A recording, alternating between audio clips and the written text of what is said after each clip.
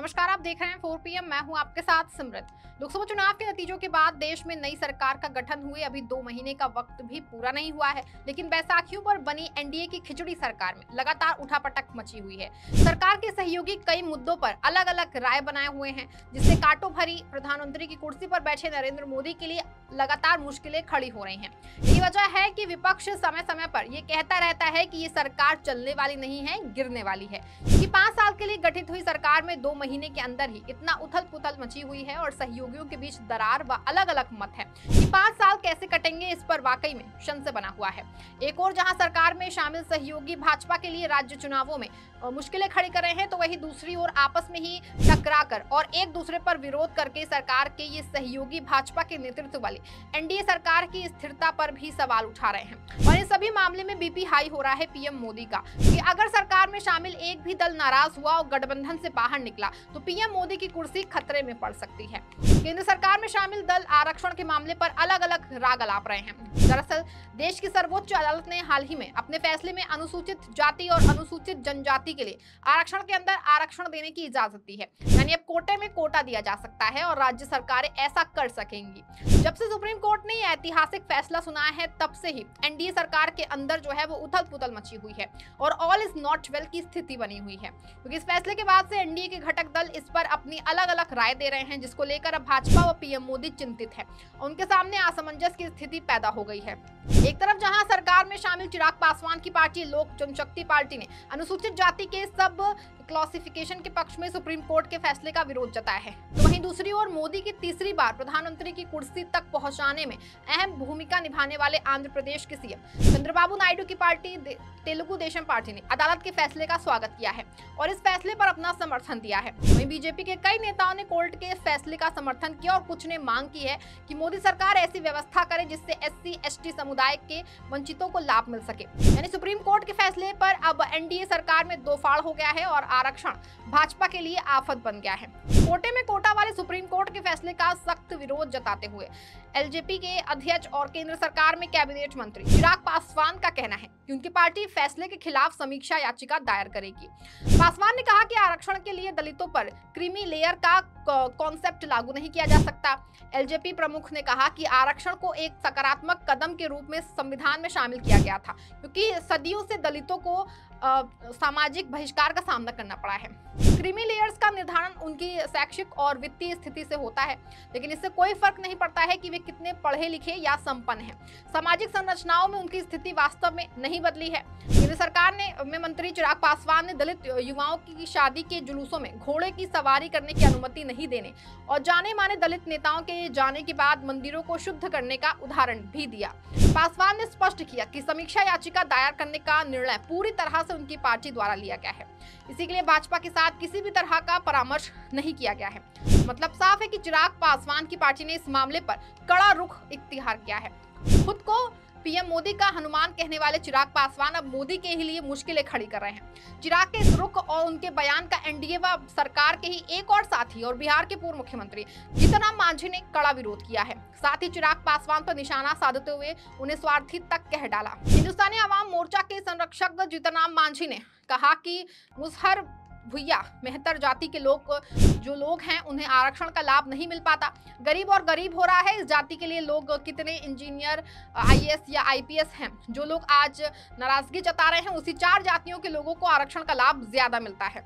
यानी schedule caste के लोग ही 76 साल से आरक्षण का लाभ ले रहे हैं। उन्होंने कहा कि चिराग पासवान को समझना चाहिए। किसी पासवान जाति को ही आरक्षण नहीं मिलेगा, उस समाज में और भी जातियाँ हैं। साफ़ कि चिराग के बयान पर बिहार में भी एक धड़े की ओर से कड़ी नाराज़गी जताई जा रही है। वहीं दूसरी, टीडीपी प्रमुख और आंध्र प्रदेश के मुख्यमंत्री एन चंद्रबाबू नायडू की ओर से कोर्ट के इस फैसले का स्वागत किया गया है और इसे सराहा गया है। आंध्र प्रदेश में अधिक संपन्न माला जाति बड़े पैमाने पर कांग्रेस का समर्थन करती है। मुख्यमंत्री के रूप में चंद्रबाबू नायडू के दूसरे कार्यकाल के दौरान टीडीपी ने 1997 में एससी के भीतर चार श्रेणियाँ बनाकर मीडिया समुदाय तक पहुँचने की कोशिश की, जो आरक्षण के लाभ से वंचित महसूस कर रहे थे। मुख्यमंत्री ने याद दिलाया कि टीडीपी ने 1996 में एससी उप वर्गीकरण पर न्यायमूर्ति रामचंद्र राजू आयोग का गठन किया था। चंद्रबाबू नायडू ने एक सार्वजनिक संबोधन के दौरान कहा कि सभी वर्गों के साथ न्याय होना चाहिए और सामाजिक न्याय की जीत होनी चाहिए।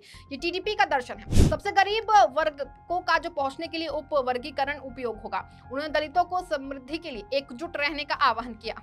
यही नहीं, भाजपा खुद तेलंगाना में सब कोटे की वकालत कर रही है। राज्य में 2023 के विधानसभा चुनावों से पहले प्रधानमंत्री नरेंद्र मोदी ने मडिका समुदाय के उप कोटा के लंबे समय से चली आ रही मांग पर गौर करने के लिए एक समिति के गठन की घोषणा की थी। मडिका रिजर्वेशन पोराटा समिति के नेता मंदा कृष्णा मडिका भी इस मामले में भाजपा के साथ आ गए थे। यानी कहीं ना कहीं बीजेपी भी कोर्ट के फैसले का स्वागत कर रही है। हालाँकि पार्टी की ओर से अभी तक इस मामले पर अपना रुख पूरी तरह से साफ़ नहीं किया गया है। इससे साबित होता है कि बीजेपी ने भी इस फैसले को लेकर भी असमंजस की स्थिति बनी हुई है। क्योंकि यहाँ कुछ नेताओं ने इस फैसले का स्वागत किया है तो कहीं कुछ भाजपा नेताओं ने इस मामले पर कुछ भी कहने से परहेज कर रहे हैं। उसका कहना है कि पार्टी इस मुद्दे पर अपने विचार रखने से पहले सुप्रीम कोर्ट के हालिया फैसले का अध्ययन करेगी। भाजपा नेता और राष्ट्रीय अनुसूचित जाति और अनुसूचित जनजाति आयोग के पूर्व अध्यक्ष। विजय सोनकर शास्त्री ने फैसले का स्वागत करते हुए कहा कि जो दलित इसका विरोध कर रहे हैं, वे केवल इस पर नज़र रखे हैं। अपने स्वयं के समुदाय के हित में सोच रहे हैं, न कि समग्र रूप से दलितों के हित में। विजय सोनकर शास्त्री का कहना है कि एससी के बीच सब क्लासिफिकेशन होना चाहिए। सब कुछ समुदायों को आरक्षण से सबसे अधिक लाभ हो रहा है, जबकि अन्य को कोई लाभ ही नहीं मिल रहा है। ऐसे में अगर कोटा में सब क्लासिफिकेशन किया जाता है तो आरक्षण का लाभ उन लोगों तक पहुँचने का रास्ता खुल जाएगा, जिन्हें लंबे समय से आरक्षण का लाभ नहीं मिला है। लेकिन भाजपा इस फैसले पर अभी तक खुलकर कुछ भी बोलने से बच रही है, जिससे ज़ाहिर है कि बीजेपी अभी भी असमंजस में बनी हुई है। क्योंकि फैसले का समर्थन या विरोध दोनों की दूरगामी परिणामों को हो सकता है, जो भाजपा के लिए मुसीबतें खड़ी कर सकता है। इसलिए बीजेपी फैसले पर काफ़ी विचार कर रही है। ऐसा इसलिए भी है क्योंकि सब क्लासिफिकेशन के लिए सरकार को जाति जनगणना कराने की भी आवश्यकता होगी। जिसकी विपक्ष मांग कर रहा है और भाजपा इसका विरोध कर रही है। ऐसे में अगर बीजेपी फैसले का स्वागत करती है तो उसे जाति जनगणना करानी पड़ेगी, लेकिन वो खुलकर विरोध भी नहीं कर सकते। क्योंकि ऐसा करने से भाजपा का वोट बैंक प्रभावित हो सकता है। और ये जो जग ज़ाहिर है कि पीएम मोदी व बीजेपी के लिए वोटों से बढ़कर कुछ है ही नहीं। यही कारण है कि बीजेपी को अपना रुख साफ़ करने में समय लग रहा है। भाजपा ने लोकसभा चुनाव और अब राज्यों के विधानसभा चुनावों में प्रचार के दौरान स्टैंड लिया है की वो ओबीसी कोटा खत्म नहीं होने देगी।